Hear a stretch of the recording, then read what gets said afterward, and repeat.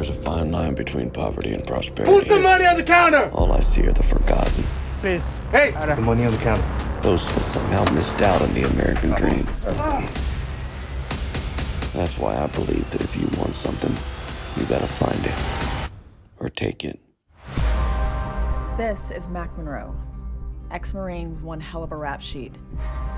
Over here is the entire Monroe gang. Bunch of river rats taken in by Mr. Monroe, I'm told. Everybody here came to me in a similar fashion as you. We're all orphans, darling.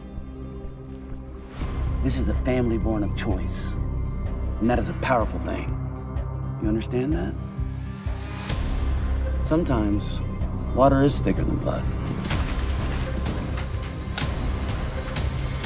Go, go, go, go, go, go, go. The stuff they were cooking up would have ended up in the streets, probably in the hands of some God-fearing people. Can't have that. Those were bad people, son. We pulled three bodies from the rubble. Witnesses?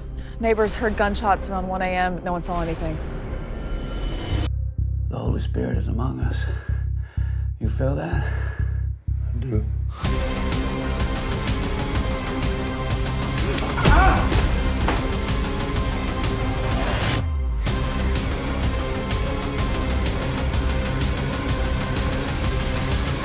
You're gonna reflect back on what we're doing here, and it was for the betterment of the world.